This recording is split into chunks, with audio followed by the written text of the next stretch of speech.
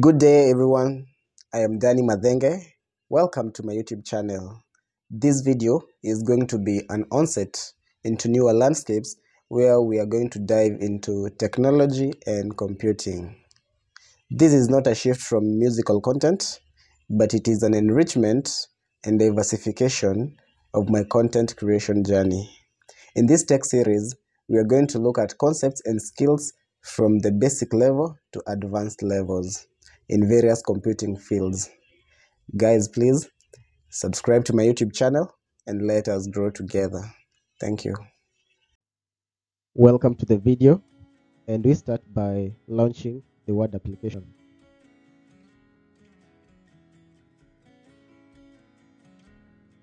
So this is what this is the, the home page. We can select a blank document. We have all these sections here. We have file, we have the home, insert, draw. This is basically how a blank document looks like. For the convenience of this lesson, I had prepared a document on some of the key functionalities of Microsoft Word. in the first part, we can create and edit a document.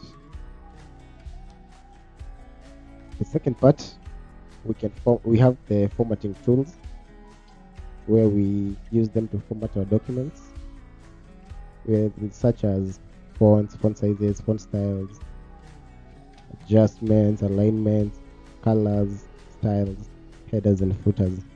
Then we have page layout as our third functionality. And here we set the page margins, the orientations, as well as putting the breaks. Fourth functionality, we have insert elements. We can insert images, shapes, we can embed hyperlinks, etc. The fifth functionality, we can review and collaborate, track changes made to the document, add comments and annotations, etc. Shall dive deeper into these things. Then we have templates. We have pre-designed templates to use to to make our documents look better. Number seven, we have table of contents and indexing. This is generating a table of contents. This is mainly used when you're creating a document that has a table has a table of contents, like a proposal, a thesis, etc. Mail merge. We'll come to see how that functions. We have export and sharing. We have document security, how we can encrypt our document, and also we have automation using macros. Alright, so into the first functionality, creating a document and editing it. Now this is already this is a document, so we can edit, we can delete, basically using the keyboard. We can cut, cut, pasting.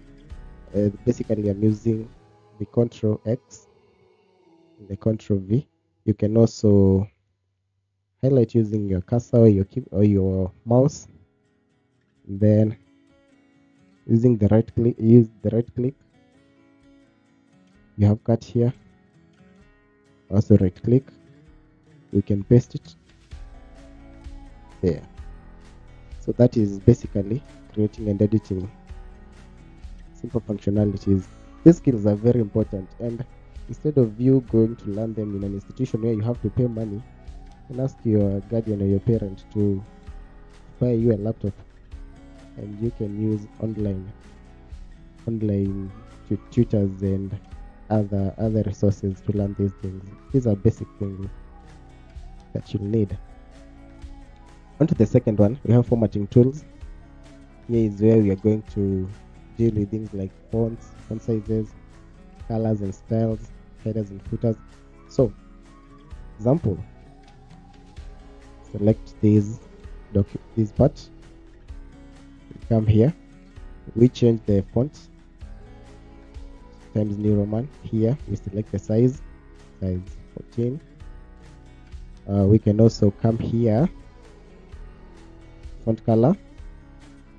Have it as blue or have it black as black so the good thing with with Microsoft Word, when you place your cursor at any of these things you will see what they do. You don't have to cram just use your cursor. Here we can have bullets.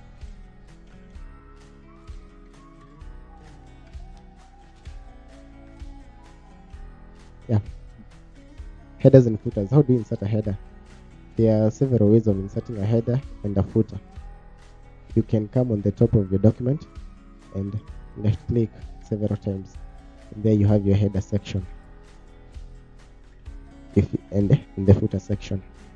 Rather you can you can come can come here at the insert insert tab up there and then header and footer option as well as the page number option down here.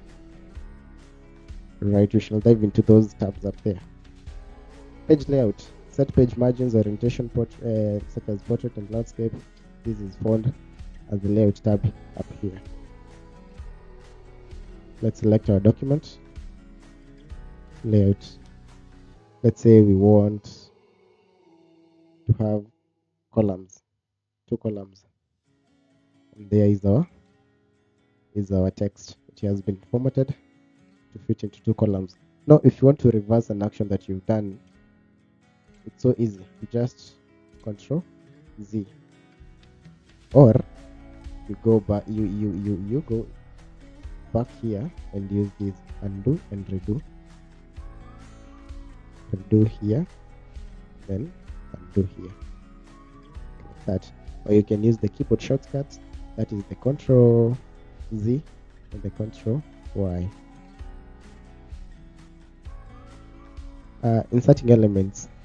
Here we are going to insert images shapes charts and other objects. We can also include a table for organizing data. So inserting elements. Up here at the insert tab we can insert a table.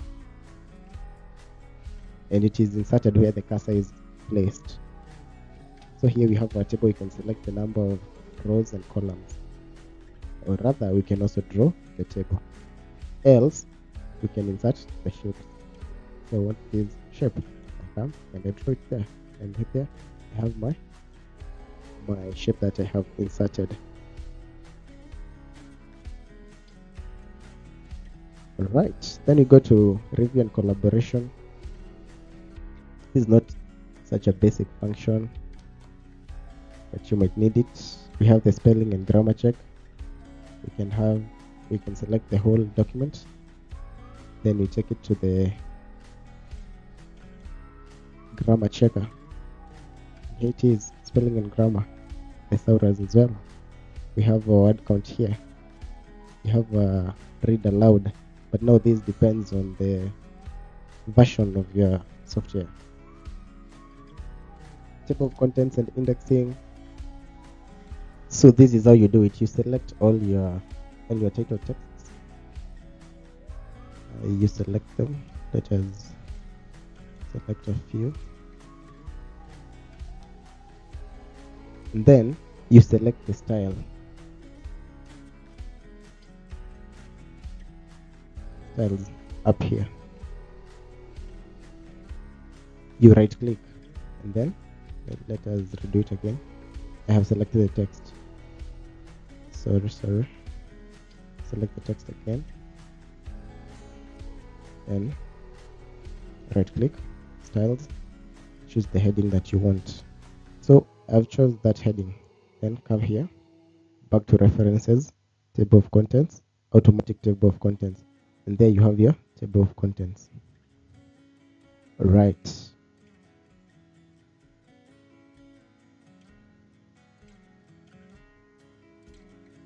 so what tabs do we have here? We have the the file tab shows us the word the the the documents that we have. We have the home tab where we are. We have the insert tab where you can insert tables shapes icons 3d models headers footers symbols. We have the draw part where we can draw designs. We have the design part where we design our text we can add watermarks. Let us select this and add a watermark. Let's say do not copy.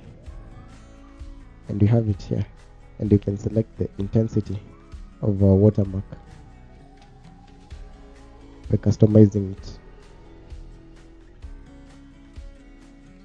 Size can select our size basically whatever we'd like to do with it right?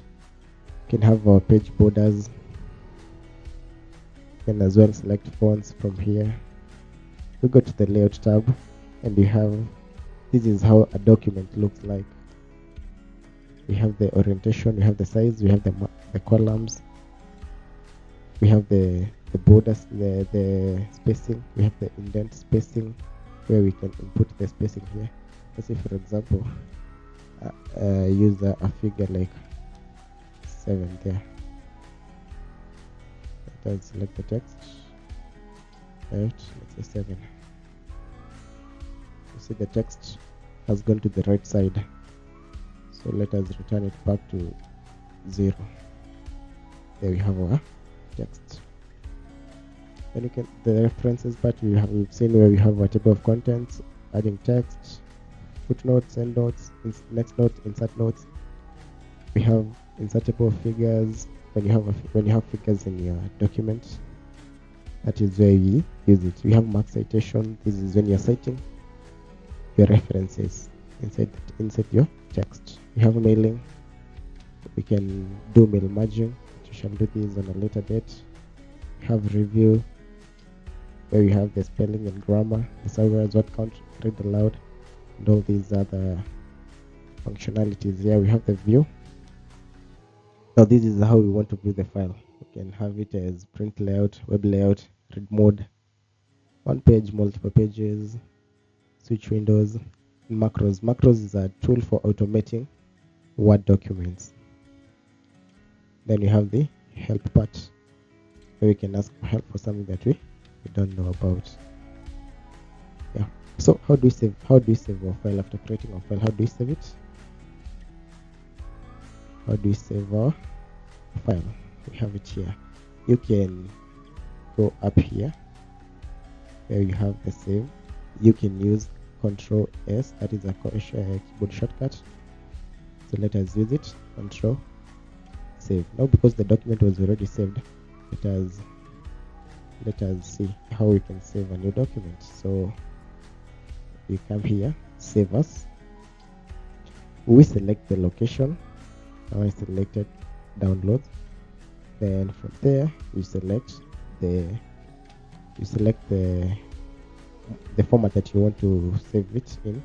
I can select PDF if I want to export it as PDF or rather we can have it as just a word document then from there we can hit save.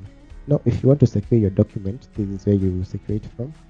Tools general options then you have to fit in the password to modify the the text. And don't forget it because when you forget the the password you lose the document.